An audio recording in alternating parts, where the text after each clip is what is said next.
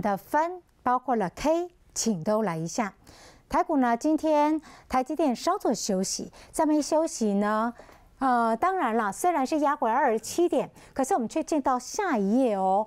有上尾盘没错，可是呢，毕竟还有苹果派啦、车用电子、光电跟元宇宙都在点火，今后股就更不用谈了。因此，伯杰请上来，说到下周更多的讯号，我真的觉得本周很倍儿棒，因为外资就像伯杰说的。翻多了，数字会说话。这个礼拜五天的时间哦，就有四天现货、期货、选择权加总起来的金额是红色的。那下个礼拜如果外资再进场捧场，应该怎么看呢？第二个，台股跌嘛，对不对？就你看，破口率就值从一二八爬到了一三零，这可是正向的呢，乐观的。可是没想到下午三点开盘的夜盘怎么会时而红时而黑？这又怎么解释呢？麻烦您。好，第一个，我判断下个礼拜。外资应该还是偏多哦。好，那如果它要偏空的讯号，很简单，我我认为偏多。如果要多的讯号该怎么看？要多的讯号就是刚才我们讲到这个现货，你维持买在八十亿哦，甚至是百亿之上。来来来，我们继续再写了哈，现货要买八十亿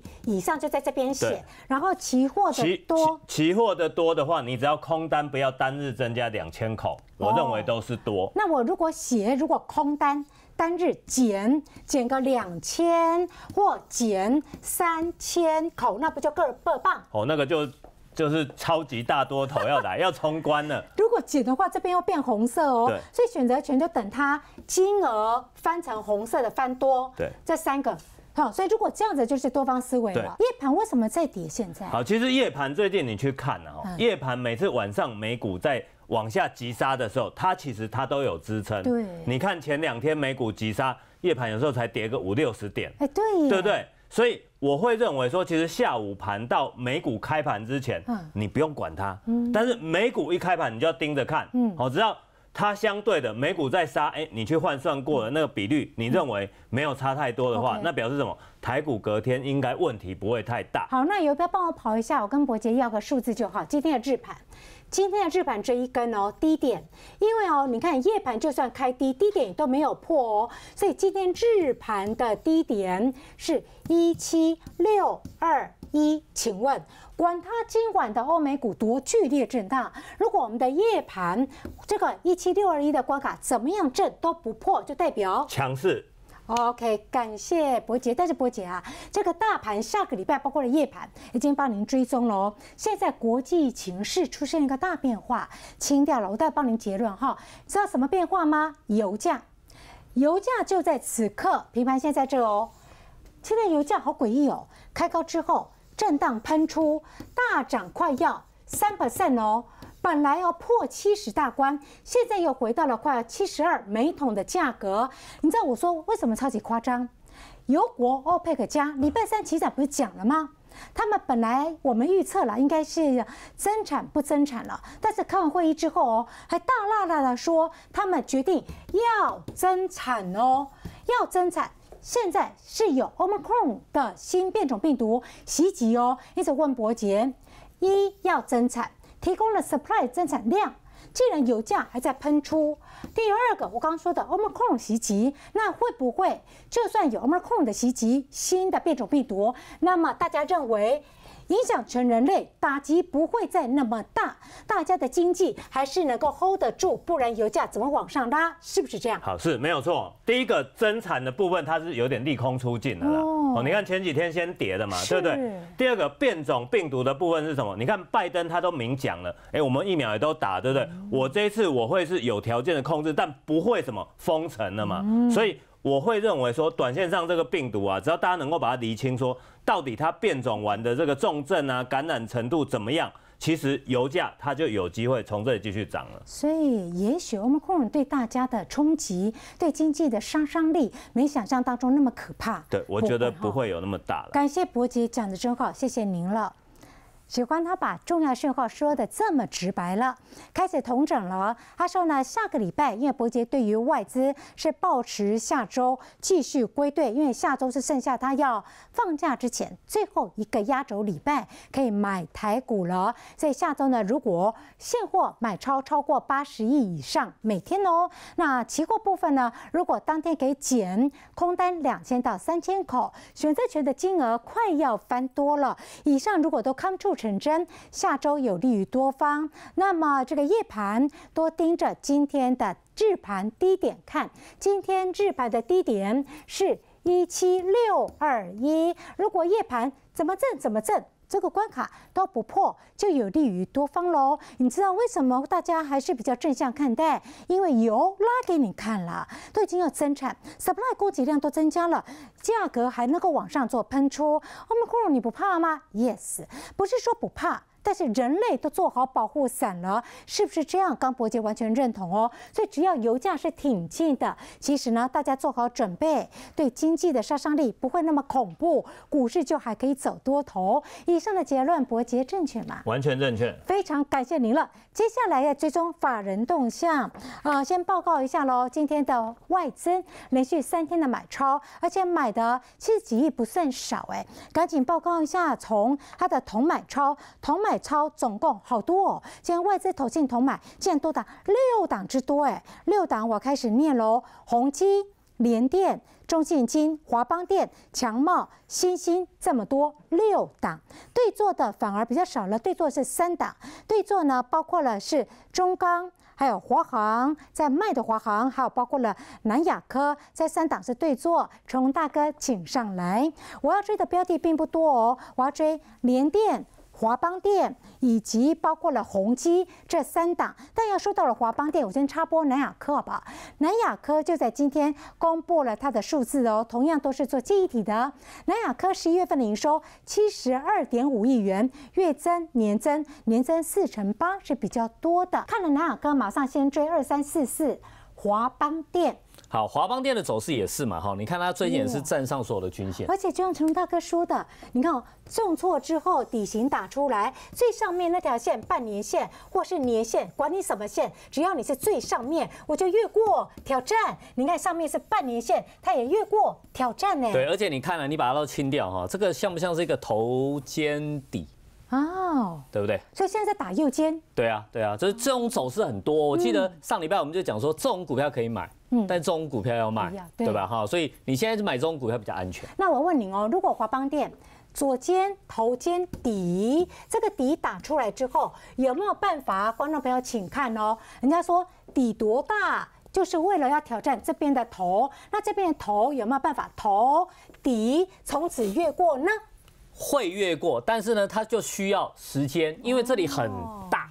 的套牢，对，所以呢，它也必须要对称，它有一点就是对称嘛，是是是，这一边对照过来就是这样子的走势。OK OK，所以这边的头哈八十五，我们看一下底型确立，这边的头八五，看能不能带个量滚上去了。对，没错。好，再来宏基，好，宏基呢也是流行，最近流行什么低本一比，好，就是说它的获利呢，其实。以今年前三季都赚到快三块钱，嗯，那第四季还没算呢，第四再加一加，本益比不到十倍啊，嗯，本益比不到十倍的电子股现在很很难找，对吧？然后呢，它也是属于底部完成，今天一根带量突破，哇，对不对？你看这里曾经套牢，所以我这里要用相对应的红棒去攻过去嘛，哎，那攻过去以后，下一个就是看这个缺口了，哎，对不对？这个哈清掉，我觉得这个可以当教科书了，让成龙大哥教大家哦，观众朋友之前。专家曾经说过了，哎呀，你看呐，这么高的位置很难过啊，因为呢人这么多，这么大的量涌在这个地方，所以这一群人呢，黑 K 棒就是收低开高嘛，所以呢，这些人都被套在这个地方，那怎么办呢？如果越过这个高点想要过的话，我要用更多的人、更大的量把它滚过去。观众朋友，请看这边，这边的量，今天的量哦，十万五千多张哦，果然是越过这边的量，所以量。滚过了之后，长红棒就这么样把这个高点越过，是？对，没错。好，是吗？对对，没错。那我问您哦，这样以后我们的操作，也就是呢，它要越过这个地方看量，以后观众朋友在下个礼拜看那个股票的时候，如何从这边的察觉来看，这边势必会过这边，怎么看？教一下。啊，当然就是要看成交量的表现。嗯嗯嗯，量是骗不了人，价格可以做，但是量是骗不了人。因为是白花花影子。对对对对对，所以你看这个量，哎，这个是多久来的大量了？大概半年来的最大量了。对，半年来的最大量长虹突破，当然就是真突破了。那真突破之后，你就找下一个压力，下一个压力就在这一个区间嘛。哦，对，就一关一关的过。所以量先价行过了之后，这边的空方缺口大概呢是三十块钱左右。嗯过了之后，这边呢大概是三十二块钱，关关难过关关过。对，没错没错。好，再来还有一档是联电。联电呢最近是比较热闹了哈。那我个人认为是说。其实它的筹码的安定度没有像前面两档那么好。哦，前面两档是底部比较完成，它比较不不太像是底部，它比较像是中段。高啊，它高。对，那主要的原因，今天联电能够转强，第一个当然外资都是站在买方，然后还有最重要就是说，跟它产业属性相同的利基电，在下个礼拜一要挂牌。好，利基电现在在新贵，下个礼拜的重头大戏，昨天我们就追了，礼拜一新贵转上市，利基电。利基电冲到，哇，今天八字头了。新贵没有涨跌幅限制哦，所以从大哥待会帮我先说，利基电跟联电超级比一比的 Monday 下礼拜一会演出怎么个戏嘛？在礼拜一的时候会有很剧烈的表现。对对对，我所谓的剧烈就是说可能开盘开很高，然后呢就杀一下，然后震一下，因为很多的法人也要进去买，当然也有原始股东要站在卖方，所以呢它会爆出一个很大的量。那联电的走势就跟着利基电跑，联电跟立基电跑。对。所以喽，我们联电联电现在是今天是六八点三。对。好，那我来个假设，第一种情境，如果刚刚利基电利基电刚说多少钱，已经来到八十块钱了，利基电的八十，连电呢，今天呢是六八，以您的研判，它往上跑。他会追吗？还是说它这么贵，我干脆直接买它呢？第一个问题，第二个问题，如果说就像您讲的，利基店的八十，假设是开高有一点点压回，高点不再过，我是不是马上回头，利基店就不再追买，重心就放在二三零三，因为它还有比价的价差呢？您看法？好，我我这样讲哈，投资人绝对是喜新厌旧。哦，这样这一点一定要记得哈。当有新的出来的时候，大家会买新。可是贵也不管它。哎，贵没关系，好，筹码安定就好。譬如说以筹码来讲，利基店跟联电，那大概是不是二比一啦？好，这个差别可能更大了。因为它才刚挂，对，它很安定，很干净，而且它很多大股东的筹码是锁住的，要至少锁三年。哦，所以。它可交易的股票不多，OK OK，它可交易的股票很多，所以你不能说哦，它八十块很贵，所以我还去买便宜的，不是这样看的。有时候你要看股票上要看筹码的安定度。所以下礼拜不用多说，先盯着它看，只要它能够涨，它就继续追就对了。好，我这样讲哈，假设它涨两趴，哎呀哎呀，它大概涨一趴，你就这样去比比对。连跌涨一趴，就大概是这样子的比例。OK OK，不会说一模一样。它它涨两趴，它再涨一趴。没有没有，我的想法是，利基店涨两趴，联电涨四趴，有没有可能？不可能。啊，我下面对我就说喜新厌旧啊，你不会要，你不会说新的涨得比较少，旧的反而涨，不会不会是这样。好，成龙大哥的观点懂了。下礼拜一 Monday 的主角帮您追过了。好，清掉之后哦，法人动作知道了。接下来成龙大哥的重头大戏，从今天盘面上量大的热门股，豫创、茂迪、合金、长荣、裕民、中钢念完了，集中火力在海运、钢铁、细晶圆、IC 设计、太阳能五个产业别，您看出端倪？好，我们先。讲大概了哈，通通来这样讲哈。其实我们主要是要看本益比，什么意思呢？我们刚才追的那三档股票，宏基、华邦电跟联电，他们都有一个共同的特色，本益比都在十几倍，太低了，甚至有的还要低到十倍以下。嗯那因为你本益比低，所以明年呢，你有赚钱的配息就会高股息值利率。没错。那这个高股息值利率又跟现在的通膨有很大的关系，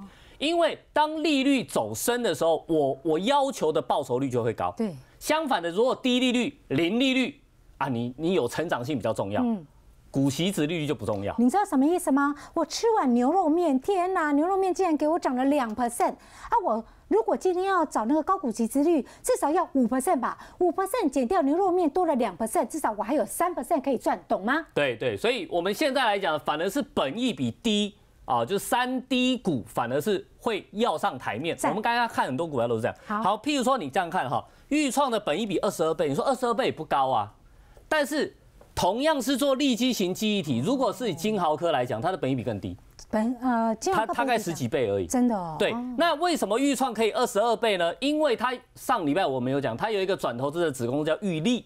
那这个玉立呢，它做的是 VR 的供应链，所以呢，它有一点元宇宙概念。OK 那今天元宇宙股票不是表现不错不错吗？所以呢，它今天的股票表现又又不错近。三个月表现八哦，你看八十三趴，所以呢，它有一部分是本身的本业，那有一部分是元宇宙的概念。来预创 K 扫描，好，那以预创来讲，这一波的涨势非常的惊人，但是呢，我们还是要特别讲。这个地方呢，这个整理哈不会这么快的结束，你不会想说哇，这个红棒又要再创新高，比较难，嗯，可能呢要以拖代变，这样子哈。要以拖代变所。以可能会在九十块钱来来回回求个稳定。对，因为现在来讲比较不流行这种股票。好，第二档了。好，第二档我们来看茂迪。茂迪因为今天刚才不是有讲吗？元金私募，对不对？国发基金介入，所以呢，哎，整个太阳能族群一早盘都是开高，可是呢，总是有分，有的被呃国发基金看上，有的没看上啊。像茂迪就是没看上，所以你看它今天的分表现就不是这么的好六。二四四的分哦，哦，开高走低，对呀、就就蛇尾。人家又不是看上你，人家是看上别人嘛哈，所以他就有一点一窝蜂起来，哦那一窝蜂起来就有一点又要回到原来的位置。本一比也偏高哈。本一比非常高哦。太阳能的族群其实还在努力中。六二四四 K 检查一下了。好，你你看它的走势就不是 比较没有那么明显的碗底啦，或者说一个攻击的讯号，它比较属于随势浮沉。好，那时间长一点点。六二四四，我下个礼拜如何研判它转弱还是续强？因为过去这一段时间哈，譬如说呃绿能概念啊或者什么，其实应该都流行过，该涨的都应该涨过了。如果你还没涨，那就代表你还要努力，哦，就代表你现在不得到法人的认同。换句话说，如果又轮到太阳能、绿能，结果它还是涨幅偏弱、对啊。偏小，它就不是主角。它就不是主角。那你就手上它就有待努力啊，譬如说它现在努力在耕耘什么呃鱼电共生的电厂啊，或者干嘛的啦，那你就看看它可不可以经营出一个开花结果的所以一个状况。同一个族群就不要做它就对了。没错没错。好，第三档来，第三档是合金。好，，合金呢最近也是很热门啊哈，那当然第三代半导体的概念，嗯。那合金也是以八寸晶圆为主，细晶圆哈，它是以八寸为它八寸是切那个车用晶对，那现在最夯就八寸嘛，所以呢，合金反而是环球金、中美金、合金，合金表现最好啊。那这因为它涨比较多嘛，所以呢它的本益比就比较高。好，那你看它的股价走势哈。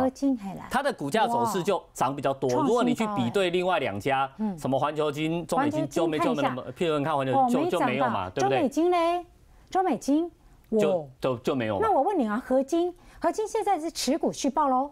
没有，我我们要特别讲，就是说，因为三个比，现在流行的概念叫做本益比低啊，，我听懂了。所以如果这三个来给我选的话，我会选环球金啊，我不会选合金。找那个没涨到的，对啊，因为环球金第一个位阶比较低，然后本益比也比较低，哦而且它真的是十二寸金元的，算是前几名的感觉上比较有未来性。环球金，所以你不挑合金，挑环球金。对，没错，那环球金，环球金的时间缩短，它的利基点呢？环球金就是你如果未来的半导体好，嗯，那一定是十二寸晶圆厂的发展潜力比较旺对吧？那环球晶是切来做就就比较高阶的嘛，高阶台积电就都是十二寸。啊，我知道了，五纳米、七纳米就是十二寸对，台积电的基本上都是十二寸，很少八寸啊。好啊，所以如果台积电会好，那你应该是买环球晶啊。所以环球晶的半年线如果八三四站上就对啊，对啊，对啊，如果能够站上八三四的话，就不一样。好，感谢成龙大哥，非常谢谢您，先请回座。这三档标的我们先追喽。呃，待会儿哈再帮大家一口气进行结论，还有这几档以及台股呢，台股好期待，先秀一下台股的看法。哇，你看吧，我就说 Omicron 严重了吧？成龙大哥又说 Omicron 入侵欧美，金融市场不可以掉以轻心哦。可是油价在急拉，哎，不知道它怎么解呢？资金派对如果没了结束了，那股市有没有行情？听看看他说明白。